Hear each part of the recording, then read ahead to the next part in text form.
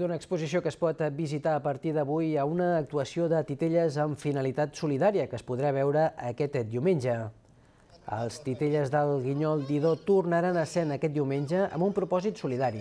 La companyia de Ramon Sánchez ha preparat una actuació representant l'obra El fantasma del castell de la Geltrú i la recaptació íntegra anirà destinada a la investigació d'una malaltia minoritària que està produïda per la duplicació del cromosoma 15Q.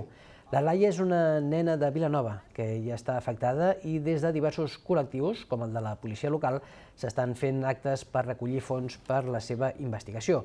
La representació de Guinyol d'Idó es farà aquest diumenge a les 5 de la tarda a la confraria de pescadors de Vilanova.